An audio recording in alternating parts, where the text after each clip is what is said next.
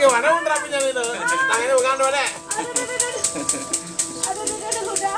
Ah, Pegangin, kok jangan ini pegangin. aduh. Udah, udah. Apa nih udah? Konen masuk video nih. Sakit.